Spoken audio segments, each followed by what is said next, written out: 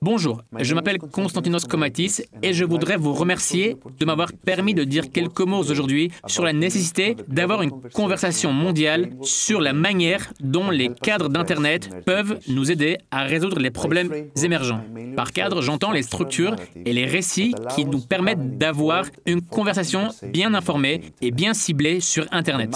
Le groupe consultatif multipartite a un rôle essentiel à jouer dans l'élaboration des discussions liées à Internet, en particulier dans les questions émergentes comme indiqué dans l'agenda de Tunis. Notre espoir est que de telles conversations peuvent nous aider à mieux comprendre le complexe écosystème de l'Internet. Notre espoir est que de telles conversations peuvent nous aider à mieux comprendre le complexe écosystème de l'Internet et qu'elles pourraient conduire potentiellement à une session principale ou à un forum des meilleures pratiques. Bien que nous ayons tous reconnu qu'Internet est un élément essentiel de nos sociétés, il est difficile de donner une définition unique de ce qu'il est.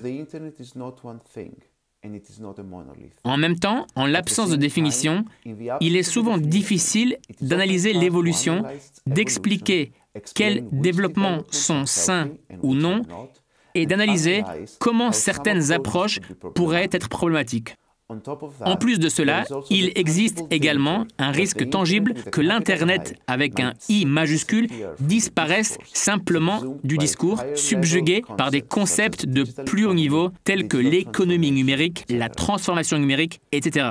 Une façon prometteuse de résoudre ces problèmes consiste à examiner certaines des propriétés qui caractérisent Internet. Ces propriétés ne doivent pas être considérées isolément, mais conjointement avec les avantages et les conséquences qu'elles génèrent. Cela nous permettrait de mieux comprendre leur relation avec l'évolution réussie d'Internet. Le projet Internet Way of Networking, The Internet Society, en fait partie. Internet Way of Networking est plus qu'un simple cadre. C'est la perspective de l'Internet Society agissant comme une lentille qui nous permet de regarder le développement d'Internet et d'aider à articuler notre position.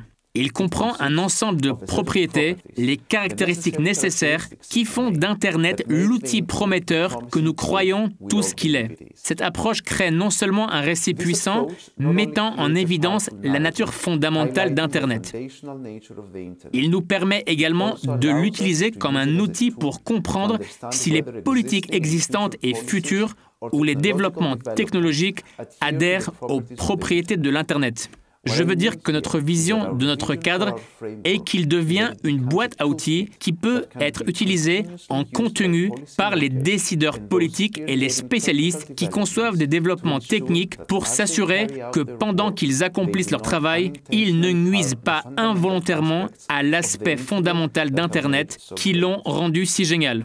Pour cette raison, nous travaillons actuellement sur un ensemble de cas d'utilisation et d'études de cas qui utilisent le cadre pour contester ou affirmer une variété de politiques émergentes. Les sujets actuels sur lesquels nous travaillons incluent la fiabilité intermédia, la localisation forcée des données, le filtrage de contenu, l'interconnexion et le routage, ainsi que la nouvelle proposition IP qui a été soumise à l'ITU. Nous avons discuté de la possibilité de soumettre cette discussion au FGI et nous souhaitons faire la proposition suivante. Comme je l'ai déjà mentionné, plusieurs efforts utilisent une approche similaire mais offrent des perspectives différentes. Quelques exemples incluent le cadre développé par une équipe du MIT dirigée par David Clark ou le cadre Idealized Internet versus Internet Realities développé par New America. L'ISOC se fera un plaisir de faciliter l'organisation du travail en collaboration avec un MAG, de coordonner tous ces efforts et de collaborer avec les volontaires intéressés. L'objectif serait double, discuter et solliciter des commentaires sur les propriétés identifiées par ces cadres et leur pertinence dans le travail que nous faisons tous, en communiquant un puissant récit d'Internet avec un I majuscule. Travailler avec vous tous pour identifier les cas d'utilisation et les études de cas qui pourraient utiliser le cadre comme un guide. Comment y parvenir? Si vous avez des idées telles que l'organisation d'une session principale sur les cadres dans les questions émergentes ou d'autres pistes sous la direction du MAG, nous serions heureux d'ajuster ce qui correspond le mieux à la vision du MAG. Nous vous remercions encore une fois pour l'opportunité de collaborer et nous sommes à votre disposition si vous avez des questions. Merci.